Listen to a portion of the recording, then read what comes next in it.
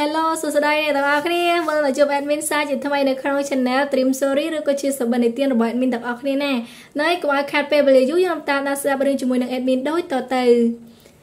សូមជូនរឿងព្រះជាយាខ្លែងខ្លែងមហាកោភាគទី13បងធំពួកវារងចាំបានតែតែចង់ឲ្យពួកយើងចាំទៅដល់ណាទៀត កណ្ដាប់ដៃរបស់សានសានដែលចិញ្ចៀងលាងខ្លាំងខ្លាំងប្រាថ្នាឲ្យចិញ្ចៀងនេះគឺជាមុខរបស់ចៅជាវចាំដល់ពេលណាគឺពេលនោះតាសានបងធំរបស់ក្រុមចោភ្នំក៏ឆ្លោយដោយទឹកមុខសោះក៏ក្រោះតែក្នុងចិត្តក្តៅអន្ទះអន្ទែងអឺតើស្បៀងរបស់យើងមានមិនច្រើនទេបើពី3ថ្ងៃទៀតពួកនោះឆ្លងកាត់ផ្លូវនេះពួកយើងមិនអាចចេញបោកបាញ់បានទេហើយរស់នៅយ៉ាងម៉េចទៅ អឺសែនដែលជាមេក្រុមរងត្បកសួរដោយមានហេតុផលផែនការចាស់គឺចាត់ការចៅជឿហៅនាំគ្នារត់ភ្លាមទៅមិនដាច់ស្បៀងតាមខ្លួនច្រើនមនុស្សមិនប៉ុន្មានអ្នកតែ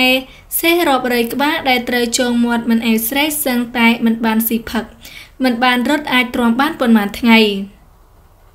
អ្នកណាទៅដឹងថាអាវចង្រៃនោះវាធ្នមប្រពន្ធប៉ុន្មានថ្ងៃ សានសានចង់តែចេញពីទីនេះទៅសម្លាប់ទាំងប្តីទាំងប្រពន្ធឲ្យសមនឹងកំហឹងទេ3ថ្ងៃមុន តាមការកំណត់នៃការធ្វើដំណើរចាជាត្រូវឆ្លងកាត់ជ្រលងភ្នំមួយនេះ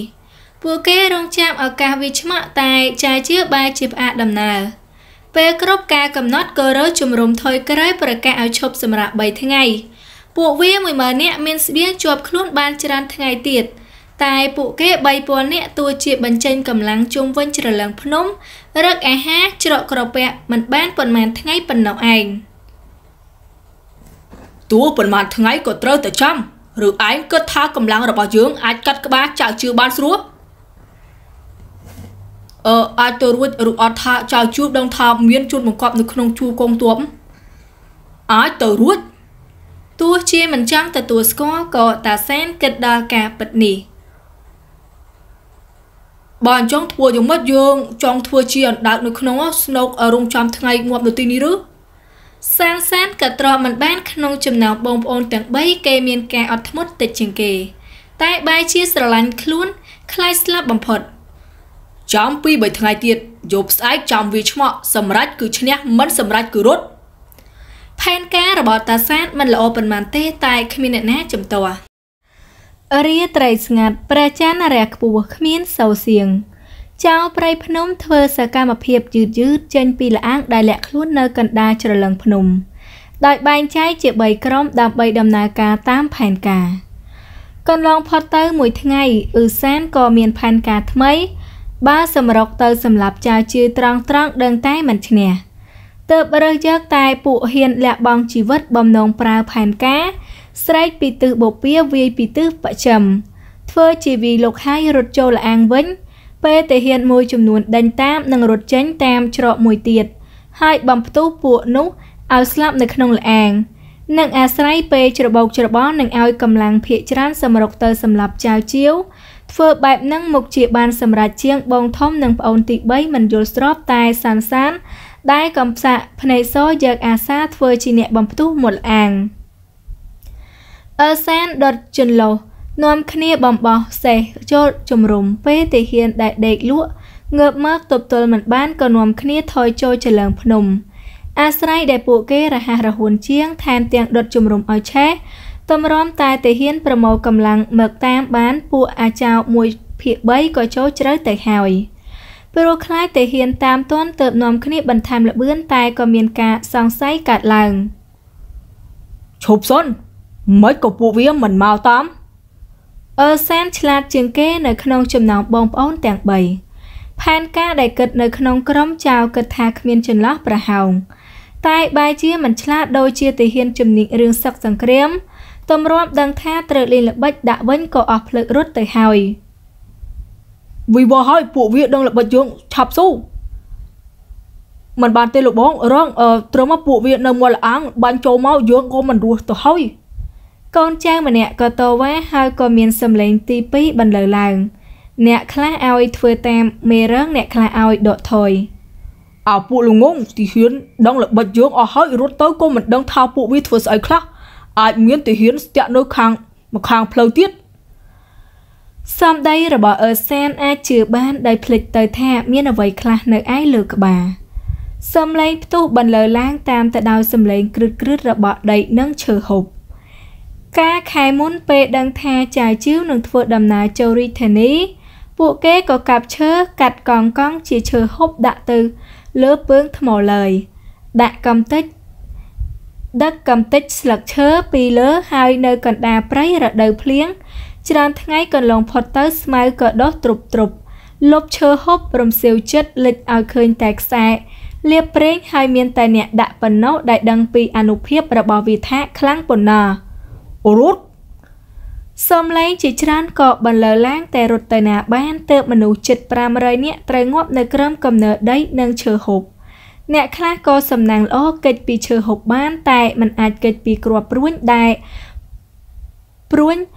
សមើកបានតាមឲ្យយើងចូលទៅជួយទួនមួយឈឹងបោះសម្អាត សំឡេងស្រែកបញ្ជានេះគ្មានអ្នកណាក្រៅពីចៅជឿវដែលក្រុមចៅព្រៃដាក់ផែនការសម្រាប់អស់រយៈពេលជាច្រើនខែហើយនៅនឹងចងជើងរបស់គេមិនត្រឹមតែមានធ្លុកឈាមទេនៅសានសាន និងបពពួកដែលងាប់បិទភ្នែកមិនចិត្តដោយសង្ស័យថាហេតុអ្វីទើបត្រូវលើប្រហារបានស្រួលម្លេះនោះមើកពីពួកនោះគ្រាន់តែជាចៅព្រៃធម្មតាគ្មានសមត្ថភាពមិនចេះប្រមាណកម្លាំងបន្ទាប់ ពីប្រកាសឲ្យឈប់សម្រាក3ថ្ងៃមេតបយ៉ងជៀនក៏បែងចែកទាហានជាក្រុម ដោយមានពីរក្រុមឡើងភ្នំមកស្នាក់នៅកន្លែងដែលមានគ្រាប់បែករងចាំពួកចៅពីក្រុមនាំគ្នាចេញមកក្រៃជ្រលងភ្នំ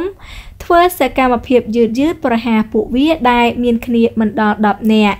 មុនពេលពួកវាបង្កភាពចលាចលហើយគ្រប់គ្រងដោយខ្លួនឯងថានឹងបំផ្ទុះនៅពេលណា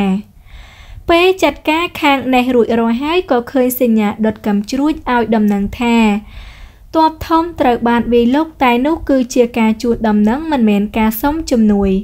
កងទ័ពមានកងកម្លាំងជិត10000នាក់ប្រៀបធៀបនឹងកម្លាំងចៅដែលមានតិចជាងគឺដូចជាញីស្រមោចឬទោះជាមានច្រើនជាងនេះមិនញញើតដៃទួនមួយឈឹងដែរតែចៅជឿមិនព្រមឲ្យកូនចៅណាម្នាក់របស់ខ្លួនបាត់បង់ជីវិត ទៅជួយលឿនប៉ុណ្ណាការរងរបួសនិងស្លាប់របស់ខាងគេមានកាន់តែតិចលោកមេតបស្រុតដំណើរចូលទៅជុំរំវិញ តែមិនភ្លេចក្រឡេកមើលជ្រលឹកមកខាងទៀតផែនការស្ទាក់កំចាត់ចោលព្រៃត្រូវអាស្រ័យទាហានពីរក្រុមដែលរហ័សរហួន និងធ្វើការស្រុះគ្នាដោយមិនចាំបាច់អាស្រ័យបញ្ជា បើមានហានអ៊ីកនៅជាមួយគេនឹងដែលស្ដាំអាចបំបីគ្នាធ្វើការបាន តែព្រោះខ្វះមនុស្សទួនមួយឈឹងត្រូវទប់ទល់នឹងសត្រូវទៅអ្នកដែលធ្វើបាននឹងទុកបានមានតែហ្វុយអ៊ីអូនមិនចេះវិជាកុនក៏ពិតមែនតែភាពរហ័សរហួននឹងរឿងឡើងភ្នំបាញ់ធ្នូក្នុងជាឡើងភ្នំមិនអានណាជាងទាហានរបស់បងទេការតបរបស់ហ្វុយអ៊ីដែលមានចំពោះចៅជាសុទ្ធតែត្រូវ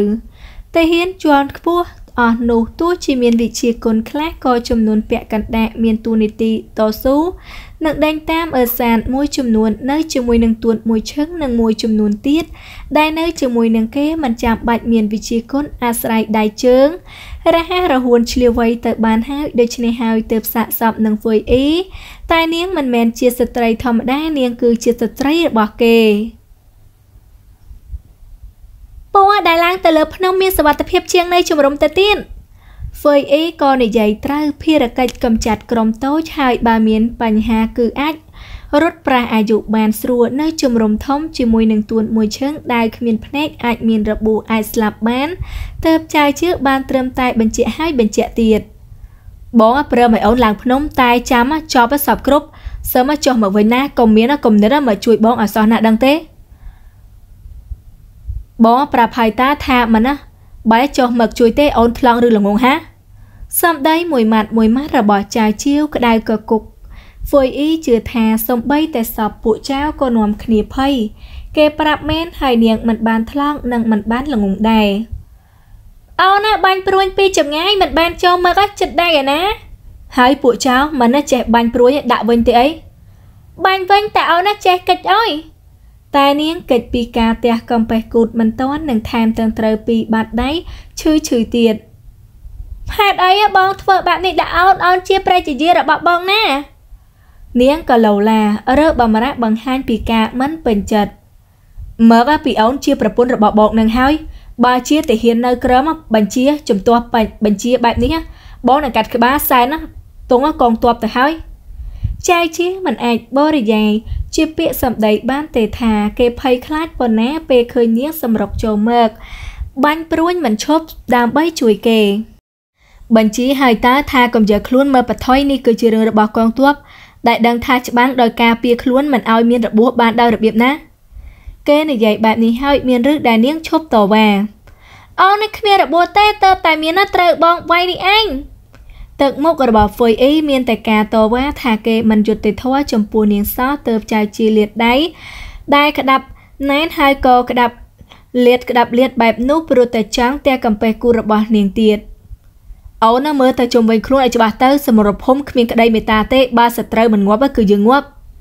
គេចង្អុលទៅសាកសពទាហានរបស់ខ្លួនទោះជាដាក់ផែនការបានល្អក៏ដោយចោះក៏នៅតែបាត់បង់កម្លាំងចិត្ត400នាក់ សង្គ្រាមមិនប្រណីហើយនាងក៏ដកដង្ហើមធំទើបគេដកដង្ហើមធំតាមដោយភាពដតានតឹងនិយាយទៅក៏នាងមិនចាប់អារម្មណ៍ហើយនាងនិយាយត្រូវសង្គ្រាមមិនប្រណីបើយប់មិញនាងមិនជួយពីចម្ងាយពលទាហាននឹងបាត់បង់ច្រើនជាងនេះមើលសាក់សពចោលហើយគេក៏ដកដង្ហើមធំម្ដងទៀតនេះគឺជាសង្គ្រាមតូចមួយក៏ថាបាន សង្គ្រាមមិនគួរណាកើតឡើងប៉ុន្តែមហិច្ឆតារបស់មនុស្សធ្វើឲ្យមានការបាត់បង់បែបនេះកើតឡើងមានជានិច្ច ពួកនោះខំដាក់ផែនការបែបនេះមុខជាមិនព្រមដកថយទេ ពេលឃើញស្វាមីភរិយាឈប់ឆ្លុះគ្នាទៅទួនមួយឈឹងដើរមកចូលរួមព្រមទាំងដាក់សំណើដល់ខូខៅតែហ្វុយអ៊ីងួក្បាលគាំទ្រមែនមកទៀតសម្រាប់ទៀតអ្នកណាតាំងខ្លួនគឺជាសត្រូវរបស់ពួកយើងត្រូវតែសម្លាប់ឲ្យអស់ នេះគឺជាកំណត់ដ៏សាមញ្ញសាមញ្ញរបស់ទេហ៊ាន ពួកគេមិនមែនជាបិសាចស្រេកឈាមប៉ុន្តែបើចាំបាច់ត្រូវរក្សាជីវិតរបស់ខ្លួនពីសត្រូវគឺមិនព្រមខ្វិនដៃខ្វិនជើងរងចាំសេចក្តីស្លាប់ឡើយ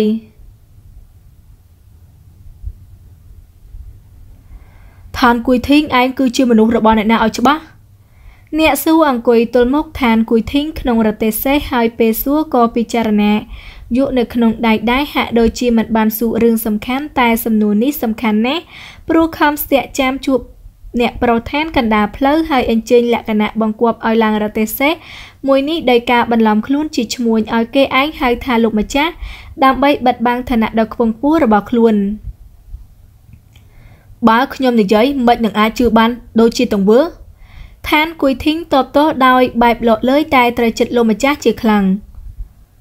អញ្ចឹងឯងប្រាប់មកថាធ្វើយ៉ាងណាឲ្យយើងជឿបើឯងត្រូវការឲ្យខ្ញុំធ្វើដាវខ្ញុំក៏ត្រូវធ្វើដាវបើចោលខ្ញុំធ្វើធ្នូខ្ញុំក៏ធ្វើធ្នូអ្វីដែលយើងត្រូវការគឺមិនមែនទាំងដាវនិងធ្នូតែអ្នកកាន់ជក់នៅក្បែរខ្លួនវេលានេះគេដណ្ដើមអំណាចនៅឯរាជសំណាក់ទើបត្រូវការពីការគ្រប់គ្រងខ្ញុំសូមបំរើអ្វីដែលត្រូវការខ្ញុំនឹងធ្វើតាមដោយមិនគិតវេះនិងយកទង្វើរបស់ខ្លួនពិសោធន៍ភាពដ៏ស្មោះត្រង់ ល្អណាស់ចាប់តាំងពីពេលនេះទៅយើងចាត់ទុកឯងគឺជាមនុស្សរបស់យើង តែការងារដំបូងដែលឯងត្រូវធ្វើ គឺធ្វើខ្លួនជាមនុស្សរបស់ពួកនោះឲ្យទំនើងយល់ឬអត់ខ្ញុំសូមនិយាយមួយម៉ាត់ធ្វើឲ្យទំនើងនោះលំបាកណាស់ស៊ូធ្វើឲ្យឃើញមានថាមានពិរុទ្ធមិនល្អជាងឬសំឡេងសោចបន្លឺឡើងដោយការពេញចិត្តអ្នកណាក៏ថាឋានគួយធីងប្រឡងបានសាយឈៀវ ស៊ីវឆៃទាំងមិនទាន់ពេញវ័យមានភាពឆ្លៀវឆ្លាតគេមើលមនុស្សមិនខុសមែនដែលរក្សាទុកក្របអុកគ្មានតម្លៃមួយក្របនេះសាស៊ីវឆៃកែប្រឡងចូលថ្នាក់វិទ្យាល័យសមជាអ្នកប្រាជ្ញវ័យក្មេងមែនឯងនិយាយត្រូវធ្វើឲ្យទំនើងមិនអាចស៊ូនិងធ្វើឲ្យមានពិរុទ្ធហើយជួនបង្កប់មកពីក៏ចាប់កំណត់ទាស់ត្រង់វេលានោះគ្មានអ្នកណាដឹងថាឋានគួយធីងពាក់ក្បាំងមុខយូរហើយដើម្បីជួយមនុស្សម្នាក់ អឺមែនហើយរឿងដែលអូនអាងថាបាត់បង់ការចងចាំមានគេបោះអាក្រាតឬអត់មិនយូរទេនឹងដល់រាជធានីហើយហ្វុយអ៊ីក៏នឹកដល់បញ្ហាសំខាន់ឋានមេចិនធ្លាប់ចូលវាំងហើយស្វាប់នឹងមនុស្សឋានៈខ្ពង់ខ្ពស់ច្រើនអ្នកតើគ្មានអ្នកណាចាប់បានឬថានាងខ្លាំងខ្លាយមានតែមនុស្សអន់បញ្ញាប៉ុណ្ណោះដែលជឿថាអូនបាត់បង់ការចងចាំ ចៅជាមានចម្លើយច្បាស់ហើយទោះជាសម្លេងស្ដាប់ទៅមានការប្រមាថយ៉ាងណាក៏ដោយចុះដៃរបស់គេនៅតែទាញបង្គាសេះមើលរបស់ Fui E ជាប់មិនអោយរត់ទៅឆ្ងាយពីគ្រួសារភ្នែករបស់ខ្លួនព្រោះខ្លាយស្វាព្រៃបំបោសេះឲ្យវង្វេងផ្លូវឲ្យកងទ័ពខាត់ពេផែនការល្ងីល្ងើដែរអ្នកណាក៏មើលដឹងមិនដឹងក្នុងចិត្តជាវាយក្រុងឋានគិតស្អីគេទេ Fui E នៅតែសង្ស័យមិនទាន់បាត់ គឺចិត្តឲ្យលោភលន់គិតថាមានប្រៀបជាងទាំងសងខាងបញ្ជូនកូនប្រុសទៅជួយការងាររាជទាយាទបញ្ជូនកូនស្រីទៅបម្រើសម្ដេចទៅបងគិតថាឋានមីចិននៅជាមួយនឹងសម្ដេចទៅឬ ហ្វុយអ៊ីចងចិញ្ចាំឆ្ងល់ដំណឹងដែលស៊ើបបានចៅជឿមិនដែលបិទបាំងនាង ពេលនេះឋានមីចិនមិនបាននៅក្នុងក្រុងឈីលីងបែបនេះនាងត្រូវមកនៅរាជធានីតែបើនៅក្នុងដំណាក់របស់សម្ដេចតើទាំងដែលមានឈ្មោះជាព្រះជាយារបស់ព្រះអម្ចាស់ទី9បែបនេះមិនខុសពីទំនៀមទេឬបើមានអ្នកណាដឹងក្រៅពីរិះគន់បងប្រុសថាដណ្ដើមស្រីរបស់ប្អូនប្រុសហើយ នៅពាក់មួកបៃតងឲ្យចៅជាទៀត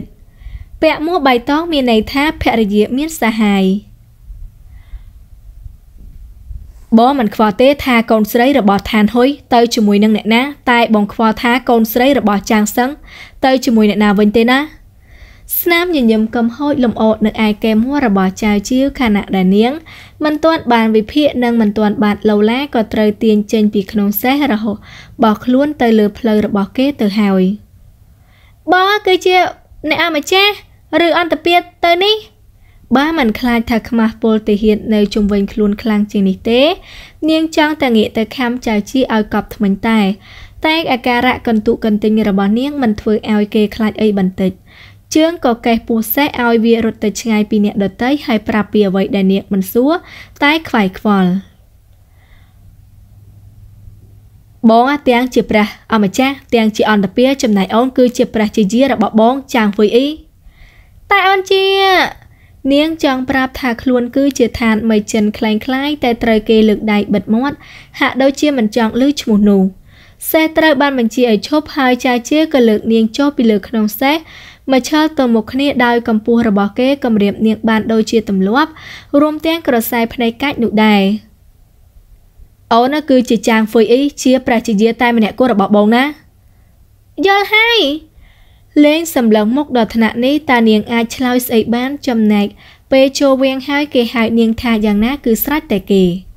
ចៅជើពេញចិត្តជាខ្លាំងនឹងចម្លើយហើយការបង្ហាញឲ្យឃើញរបស់គេ គឺការថាបជញ្ជក់បបោមាត់មិនខ្វល់ទេថាក្បួនទាហានកំពុងតែចូលមកចិត្តតែនាងមានមុខស្ដែងទៅងាកមុខចេញភ្លាមនិងសួរបន្ត ពេលចូលវាំងអូនត្រូវប្រុងប្រយ័ត្នអីខ្លះធ្លាប់បានឮថារាជវាំងដូចជាលាងខ្លាបឹងអាសេរពឹសតើស្វាព្រៃតូចដូចជានាងអាចរត់ចេញមកវិញបានឬអត់ទេសូមឲ្យត្រឹមតែអូនមិនទះកំភ្លៀងព្រះជាយាមិនទាត់ប្រាំហែសីសន្លប់ចង់ធ្វើអីក៏ធ្វើទៅណាចាយជាឲ្យដៃភរិយាពេញទីតើមាន បំរាមសម្រាប់ព្រះជាយារបស់គេមិនដេចនឹងបានទៅ គេនៅយាមកាមជាយដែនជាង10ឆ្នាំធ្វើតាមអំពើចិត្តប៉ុណ្ណឹងអាចប្រកាន់ទោសអូដំណើរស្អីបានអ្នកណាគេទៅធ្វើបែបហ្នឹងទៅមែនហ្នឹង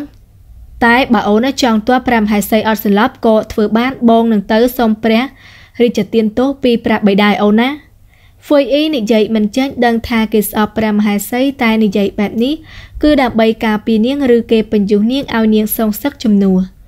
ចំណាយពេលសួរនាំយ៉ាងយូរតែបែរជាមិនបានចម្លើយគួរឲ្យពេញចិត្តចង់បង្ហាញកាយវិការខឹងសម្បាក៏ធ្វើមិនបាន តែមកដឹងនៅពេលក្រោយថាពីការត្រៀមការរបស់គេដែលនាងមិនទាន់ដឹងទេថាគួរយំដោយចិត្តរំភើបឬក៏បំផ្ទុះកំហឹងដាក់គេទើបល្អ ធ្វើដំណើរផ្លូវឆ្ងាយយ៉ាងណាយឺតយ៉ាវយ៉ាងណាក៏តកងទ័ពពីបន្ទាយផាន់អានធ្វើដំណើរមកដល់រាជធានីទោះជាយឺតយ៉ាវជាងការកំណត់មួយសប្តាហ៍តែក្រៅពីហត់នឿយហើយចាជឿនឹងព្រះជាយានៅ តែធ្វើដំណើរមកដល់យ៉ាងកក្រឹកកក្រែងមួយព្រោះតែគេគឺជាមេតបយងជៀនពីព្រោះគេនាំទាហានក្បួនធំមកជាមួយចាជឿទុកទាហាន4000នាក់ឲ្យនៅជំរះព្រៃចៅបញ្ជាឲ្យស៊ើប ប្រភពហើយសឹមត្រឡប់ទៅប្រចាំការនៅឯបន្ទាយផាន់អានតែបែជាមិនបានធ្វើដំណើរបន្តដោយកម្លាំងដែលនៅសល់អាងការលើប្រហាររបស់ចៅព្រៃផ្ញើសារមកថ្វាយសុំទាហានពីក្រុងចិត្តនោះមកជួយ15000នាក់ទៀតទៅគេអាចដឹកនាំក្បួនចូលមរាជធានីបានដោយកងកម្លាំងចំនួន20000នាក់ដោយគ្មានអ្នកណាហ៊ានចាប់ទៅអដំណើរ នេះគឺជាកូនប្រុសរបស់ព្រះរាជា ដែលទើបតែត្រូវលើប្រហារបើមាននរណាប្រាប់ថាមិនសមនៅមានកងកម្លាំងចាំការពារនោះមានន័យថាអ្នកនោះសូមក្រឡុំនឹងជន់ដៃដល់ដោយហេតុផលនេះទើបគ្មានអ្នកណាហ៊ានបន្ទោ មេតបយ៉ងជៀនក៏ធ្វើដំណើរមកដល់ក៏មានក្បួនសំសមនឹងតំណែងសមនឹងតំណែងនឹងឋានៈថែមទាំងចេញមកទទួលក្រៅពីមេតបការពារក្រុងនិងនិមិត្តមន្ត្រីធំធំហើយនៅមានអាមាត្យជំនិតរបស់ព្រះរាជាដែលមកប្រាប់ថាឲ្យព្រះអង្គម្ចាស់ទី9និងព្រះជាយាចូលគួរនៅឯដំណាក់កិច្ចការបន្ទាប់ពីជាប់អង្គជំនុំ ចាជឿទទួលព្រះរាជឱកាសតែមិនបានមានន័យថាគេនឹងធ្វើតាម គេមិនទំនេរនឹងអូហ្វីអ៊ីទៅភូមិឋានលោកមេតបលីនឲ្យនាងទៅគោរពអ៊ំប្រុសបានពី3ម៉ាត់តែអស់នាងទៅដំណាក់នៅឯជេរីធានីចាប់នាងងូចទឹកតែងខ្លួនឲ្យសមនឹងតំណែងព្រះជាយា ហើយបំបល់សេះទៅដំណាក់អង្គជំនុំ គេចាប់អារម្មណ៍កាយវិការដ៏ភ្ញាក់ផ្អើលធ្វើអ្វីមិនត្រូវរបស់ក្រុមរាជអង្គរៈធ្វើអីទៅព្រោះតែផែនការគឺត្រូវការឲ្យមានអ្នកដឹងឮច្រើន ជាពិសេសនិមន្តមន្ត្រីរបស់បពុសត្រូវព្រះរាជាទប់ទល់នឹងសកម្មភាពនេះបានហើយរយៈកូនប្រុសពៅបានដោយភាពសាសនាធ្វើហាក់ដូចជាមិនបានបណ្ដេញកូនប្រុសទៅឯជេដានជាង10ឆ្នាំនេះឬជាព្រះជាយារបស់បតហា ចាងហ្វាងចិនសួរដោយទឹកមុខញញឹមហាក់ដូចជាឪពុកក្មេងពោពេញទៅដោយគុណធម៌និងក្តីមេត្តាតែចៅជាមិនច្បាស់ទេថាឪពុករបស់គេនៅតែរក្សាទឹកមុខនេះបានឬអត់បន្ទាប់ពីគេនិយាយចប់តែព្រះអម្ចាស់មិនបានរៀបអភិសេកនឹងកូនស្រីរបស់ចៅវាយក្រុងឋានទេឬក្រាបទូសេនាបតីថានសាច់ញាតិម្នាក់របស់ថានហ៊ុយក៏ដែលចេញពីជួរមកសួរនាំដោយមិនអាចទ្រាំចាំបានទៀត។ នោះគឺជារឿងការពារច្រើនខែមុនស្ដាយដែលយើងនឹងនាងគ្មានវាសនានឹងគ្នាតែដំណើររឿងយ៉ាងណាក្របទូជំនួយការមន្ត្រីកាន់ឃ្លាំងដែលមានទំនាក់ទំនងនឹងល្អត្រកូលថេតនៅស្ងៀមលេខបានកាលពីច្រើនខែមុនយើងនាំនាងចេញទៅបបាញ់មិនស្មានថាត្រូវលើប្រហារមកដល់ពេលនេះនៅតែមិនដឹងថានាងមានជោគវាសនាយ៉ាងណាយើងក៏មានរបួសធ្ងន់សំណាងល្អដែលបានអាចារ្យ ហ្វុយអ៊ីជួយមិនដូច្នេះយើងប្រហែលជាស្លាប់ដោយដៃជន់ចង្រៃទៅហើយគុណបុណ្យជួយជីវិតនេះយើងមិនឃើញថាមានការសងគុណណាសមរម្យជាងការឲ្យដំណែងព្រះជាយាដល់នាងឡើយចាយជារៀបរាប់សំឡេងជជែកចចាច់ក៏បន្លឺឡើងរឿងផ្ដេសផ្ដាសអស់នេះព្រះអម្ចាស់ទី9ហ៊ាននិយាយមែនធ្វើដូចជាពួកគេគឺជាមនុស្សគ្មានបញ្ញាស្មារតីមួយវងតែបានត្រឹមតែគិតនៅក្នុងចិត្តគ្មានអ្នកណាហ៊ានមានយោបល់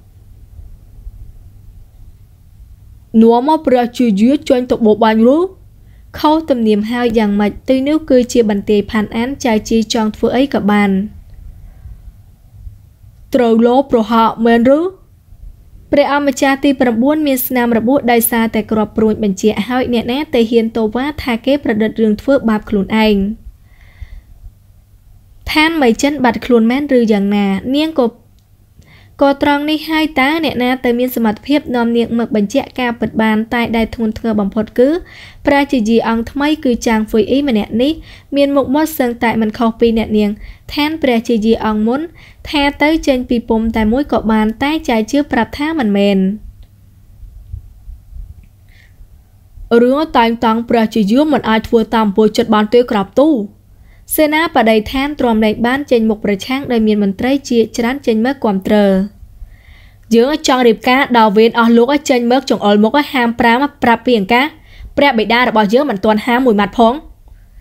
ម្ដងនេះមន្ត្រីប្រឆាំងសឹងតែបះជើងផ្កាក្រោយទៅងាកទៅមើលអ្នកដែលមានអំណាចធំជាងគេ ហ៊ានភ្នាល់ថាដោយឋានៈជាមេតបយងជៀនរក្សាការពារជាដានចៅជើងមានអំណាចជាងមិនទាន់បូកកម្លាំងទ័ពពី30000នាក់ដែលនាំមកជាមួយនោះឯងបន្ថែមភាពកក្រឹកកក្រែងឲ្យរាជធានីលើកនេះផង តែអ្នកមានអំណាចធំជាងគេ ដែលគ្រប់គ្នាចាំស្ដាប់យោបល់បាយជានិតស្ងៀមម្ចាស់ប្អូនទី9មានរឿងមង្គលបែបនេះយើងសូមអបអរសាទរផង គ្មានអ្នកណាគិតទេថារីតិយាតដែលទើបតែងើបពីឈើមើកឈើគ្មានរស្មីនៅក្នុងជួរមន្ត្រី ដែលចេញមើកខាងមុខមុនគេអូព្រះគុណរីតិយាតបើប្រាប់ថាចៅជឿមិនងើយឆ្ងល់គឺមិនអាចទេតែខណៈនោះគេក៏រលឹកបានថារយៈពេលជាង10ឆ្នាំនៅឯរាជវាំងបងប្រុសទី7តែងតែនៅខាងគេជានិច្ចលើកលែងតែពេលដែលម្ដាយរបស់ចៅឡាងប្រហារម្ដាយរបស់គេប៉ុណ្ណោះ ម្ចាស់ប្អូនទី9និយាយបែបនេះក៏មិនត្រូវមង្គលការរបស់កូនស្ថិតនៅលើឪពុកម្ដាយចំណែកអ្នកខាង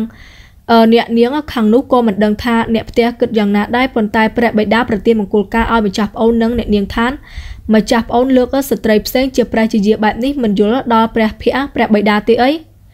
ការបន្ទោសរបស់ចៅវិនអាងដល់ភាពកតញ្ញូនិងភាពដ៏ស្មោះត្រង់ភក្តីភាពបែបនេះវាធ្ងន់ធ្ងរណាស់តែត្រូវចិត្តមន្ត្រីជាច្រើន ចៅជាមិនឲ្យខាត់ពេលក៏លួចញញឹមព្រោះតែសម្ដីនេះបញ្ជាក់បានពីរយ៉ាង។មួយគឺមន្ត្រីនៅខាងព្រះអម្ចាស់ទី8ច្រើនជាងរាជទាយាទហើយបងប្រុសទី8របស់គេម្នាក់នេះនៅតែជំនាញយកទំនៀមទម្លាប់ប្រពៃនេះមកចាត់ការអ្នកដតីជានិច្ចជឿចោះបើព្រះរាជាដាក់ ទោសសម្ដេចទៅនឹងយល់ស្របតាមដោយការសូមអភ័យទោសឲ្យដើម្បីបង្ហាញឲ្យឃើញថាខ្លួនគឺជាមនុស្សដ៏តឹងរ៉ឹងរឿងច្បាប់ទម្លាប់ខណៈនេះក៏មិនភ្លេចគិតដល់បងប្អូនឆ្លាតបែបនេះទើបអាចទាញយកទឹកចិត្តពីគ្រប់គ្នាបាន។បុត្រាទី9ផ្ញើសារមកសូមប្រទានមង្គលការរួចហើយបៃតាក៏ចេញសារអនុញ្ញាតដែរព្រមទាំងហៅចូលរាជធានីដើម្បីសួររឿងដែលត្រូវលួចប្រហារណាដល់វេលាដែលឪពុករបស់គេថ្លឹងថ្លែងបានហើយ ចាយជឿនៅតែរសាទឹកមុខនឹងថឹងតែក្នុងចិត្តសៅសៅតើមានម្ដងណាទេ ដែលគេនឹងឪពុកមិនចាំបាច់កាប់ចាក់គ្នា ពេលព្រះរាជានិយាយបែបនេះអ្នកណាក៏មិនហ៊ានមានយោបល់បន្ទាប់ពីអបអរសាទៅហើយអាម៉ាត់ចំណិតក៏ស្រែកសួរថាអ្នកណាមានសារទូ ថ្វាយឬក៏អត់មានទំនៀមដែលតែងតែគ្មានអ្នកណាហ៊ានចេញមុខព្រោះតែម្នាក់ម្នាក់សុទ្ធតែចង់ចេញពីដំណាក់អង្គជំនុំឆាប់ឆាប់ដើម្បីនិយាយពីវត្តមានរបស់ព្រះអម្ចាស់ទី9និងព្រះជាយាដែលធ្វើឲ្យមានការភ្ញាក់ផ្អើលហើយក៏ដូចជាការស្មានរបស់ចៅជាដែលថាទាំងឪពុកទាំងបងបងគ្មានអ្នកណាហៅគេទៅជួបដើម្បីសួរសុខទុក្ខតាមរបៀបរបបគ្រួសារនោះទេរឿង ព្រះជាយា ខ្លែងខ្លាយមហាកោភាគទី13សន្មតថាស្លេះត្រឹមតែប៉ុណ្្នឹងសិនអ្នកទាំងអស់គ្នា រងចាំតាមដានស្ដាប់នៅភាគទី14ដែលជាភាគបន្តសូមអរគុណសូមជម្រាបបាយបាយ